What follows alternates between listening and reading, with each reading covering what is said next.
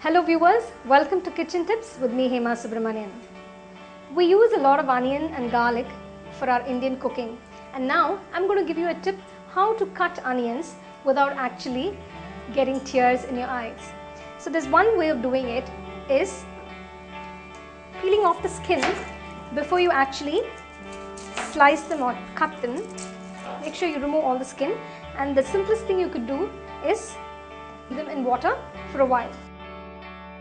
Just before you use the onions, you can remove them from water and you can use them. This way, you can avoid teary eyes.